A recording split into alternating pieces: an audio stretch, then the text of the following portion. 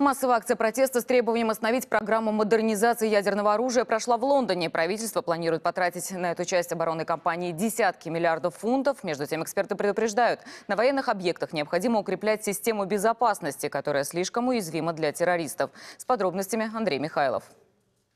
От одного вида макета ядерной баллистической ракеты «Трайдент» в центре Лондона становится не по себе. На это и рассчитывают участники многотысячного митинга в центре британской столицы. Уже не первый год они таким образом пытаются привлечь внимание властей к проблеме распространения этого смертоносного оружия и планам правительства по модернизации ядерного щита страны.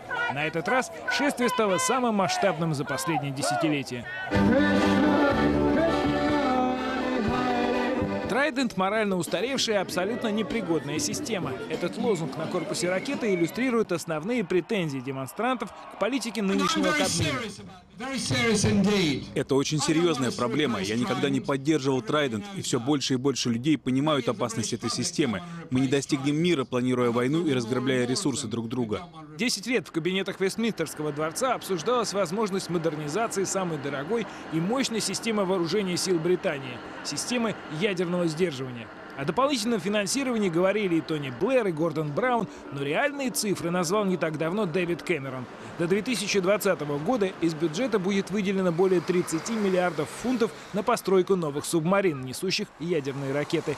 Весь ядерный потенциал Соединенного Королевства сейчас размещен на четырех морально устаревших подлодках. Они находятся на базе Фастленд Шотландии и через 8 лет уже отслужат свой срок. По мнению противников идеи модернизации, ядерное оружие не только не нужно обновлять, от него вообще нужно отказаться.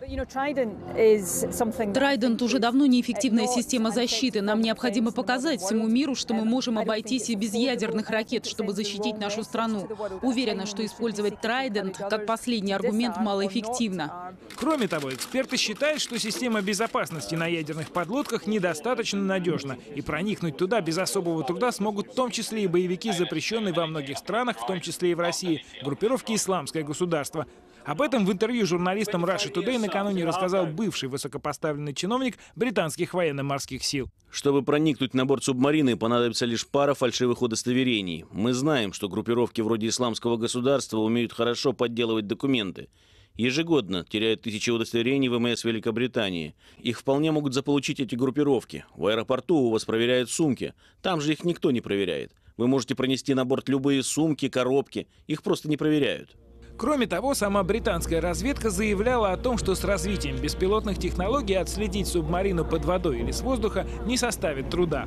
Противники обновления ядерной системы безопасности уверены, 30 миллиардов на модернизацию – это лишь верхушка айсберга. Новое оборудование, обучение моряков и обслуживание подлодок, по их мнению, опустошат бюджет на 150 миллиардов фунтов. Окончательное решение за парламентариями. Голосование будет проходить в конце года. Пока же тех, кто выступает против распространения ядерного оружия становится все больше. И все больше людей хотят увидеть Трайдент лишь в качестве транспаранта на демонстрации.